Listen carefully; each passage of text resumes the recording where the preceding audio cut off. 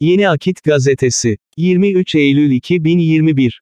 Abdurrahman Dilipak. Kiramen katibine inanıyor muyuz? İsterseniz galı beladan başlayalım, Rabbin kimdir?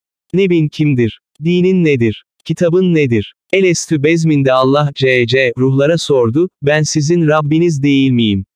İşte o zaman, evet dedik. O güne, galı bela zamanı, diyoruz. Yukarıdaki sorular, kabir sorgusuna işaret eder ve sonunda bir gün, hesap günü herkesin bütün yaptıkları kendilerine hatırlatılacak. Onlar hakkındaki her şey kiramen katibinin kayıtlarında olacaktır. Aklımızdan ve kalbimizden geçenler dahil. Kayıt defterleri sol tarafından verilecek olanların vay haline. Orada, miskale zerretin hayran yerah ve miskale zerretin şerran yerah, ölçüsünde, her şey eksiksiz olarak yazılı olacaktır. Ve sonra kim ne yapmışsa karşılığını görecektir. Sahi istihbarat örgütlerinden, polisten, düşmanlarımız ve rakiplerimizin sırlarımızı çalmalarından, hatta telefonlarımızın dinlenmesinden korkuyoruz da, ya kiramen katibinin kayıtlarından hiç mi korkmuyoruz? Mesela şeytanı ve sini neden hesaba katmıyoruz? Kiramen katibinin kayıtlarında eksiklik ve fazlalık yoktur. Silinmesi ve gizlenmesi de mümkün değildir. Hal böyle iken nasıl oluyor da, insanoğlu Allah'ı ve ahiret gününü hesaba katmadan işlerine devam etmektedir? Sormak gerek, gerçekten Allah'a ve ahiret gününe iman ediyor musunuz? İman ettik, demekle yakanızın bırakılıvereceğini mi sanıyorsunuz? Vay o namaz kılanların haline ki, diye başlayan ayetten haberiniz yok mu? Kul hakkı, nedir bilir misiniz? Unuttunuz mu yoksa, hatırlatan olmadı mı? Allah'a, meleklerine, kitaplarına, peygamberlerine, ahiret gününe, kadere, hayır ve şerrin Allah'ın iradesi içinde olduğuna iman ettim. Ölümden sonra diriliş hakikattir. Allah'tan başka ilah olmadığına, Muhammed'in onun kulu ve elçisi olduğuna şehadet ederim. Bunu söylüyoruz da, bu söylediğimizin hayatımızda pratik bir karşılığı, yansıması, etkisi var mı?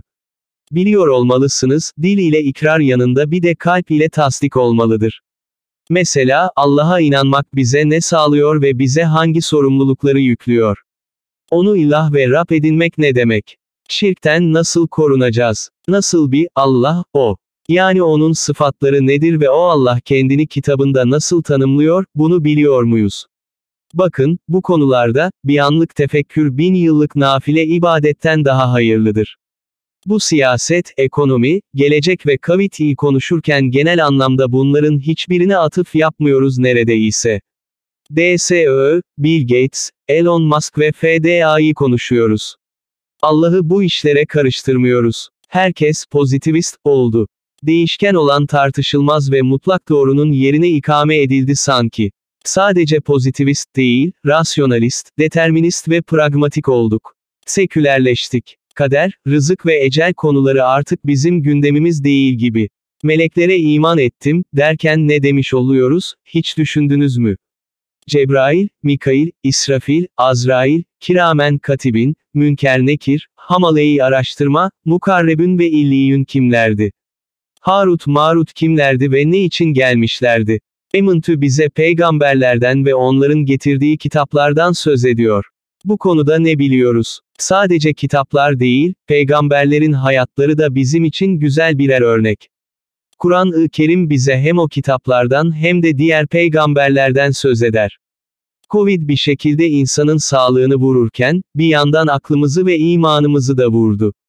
Koskoca doktor, ölen yakını için, aşı olsa ölmeyecekti, diyor. Bir diğeri, aşı olmasa ölmeyecek, ti diyor. Ecel geldi ve öldü. Bu ölüme giden yolda, ya da hayatta kalmada kim niye sebep oldu ise, o şeyi yaptığından ya da yapmaması gerekirken yapmadığından hesaba çekilecek. Kader, rızık, ecel nerede kaldı bu söylemde, şu gelirse ya da giderse mahvolduk, ya da kurtulduk diyenlere mi bakarsınız, kader, rızık, ecel yazı turaya kaldı. Allah'ın iradesi, rızası nerede? İmana aklınız bu kadar çürük bir pamuk ipliği ile mi bağlıydı? Bir gün gelecek, bize bu dünyada tartışıp durduğumuz şeylerin hakikati gösterilecek. Bu süreçte birçok konuda bize hayır gibi gelen şeylerde şer, şer gibi gelen şeylerde Allah hayır murat etmiş olabilir.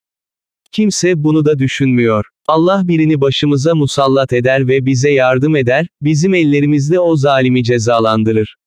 Bakın, babanız peygamber olsa gelse sizi kurtaramaz.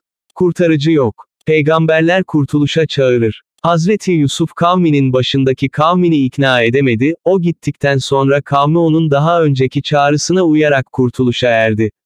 Göklerin ordularının komutası ya da hazinelerinin anahtarı kimsenin elinde değil. Ama Fed'in de Libor'un da anahtarı, Pentagon'un da orduları, şeytan da Allah'ın iradesi içindedir. Bir de, Elon'da, Biden'da, Radhidler'de, Rockefeller'lerde Allah'ın iradesi içindedir. Biz Allah'ın rızasına tabi olalım. Zalimlerden korkmayın, Allah'tan korkun. Her şeyi gören, duyan, bilen, hüküm sahibi, kadiri mutlak ve bir olan Allah var. Ve bilin ki, Allah cahillere, zalimlere, müstekbirlere, münafıklara, müşriklere, mütrefinlere yardım etmez ve onları sevmez. Biz onlardan korkup sesimizi kıstığımız, onlara yakın durduğumuz, işbirliği yaptığımız, onlarla birlik olduğumuz için onları bizim başımıza musallat etmektedir. Zalimlere yardım etmeyin sonra ateş size de dokunur, sonra Allah onları sizin başınıza musallat eder, denmedi mi? Bizim İslam alimi zannettiğimiz birileri Hazreti İsa devrinde, Hazreti Zekeriya'ya karşı çıkan, Allah'ın ayetlerinin anlamını kendi çıkarlarına göre eğip, büken Yahudi zenginlerinin haline benzedi mi? Bunlardan bazıları Kabe imamı bile olmadı mı? Bekri Mustafa'nın Ayasofya'ya imam olmasından daha beter bir hadise bu. Belam da Hazreti Musa ve Harun'dan sonra Tevrat'ı en iyi bilenlerdendi.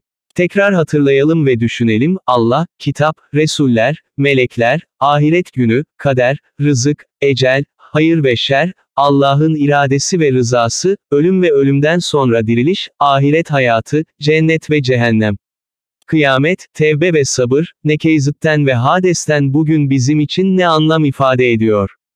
Dikkat edelim şeytan bizi Allah'la aldatmasın, aklımızı kiraya vermeyelim, din ve devlet büyüklerimizi, kanaat önderlerinizi ilah ve Rab, idol put edinmeyelim. İmtihan oluyoruz ve bizler ahir zaman peygamberinin ümmetiyiz. İmanı kalbede tutmanın ateşi elde tutmaktan zor olduğu günlere hazır olalım, insanlık irtidat fitnesi ile karşı karşıya. Neslimizi bu zor günlere, bu ahir zaman fitnelerine karşı hazırlayalım. Selam ve dua ile.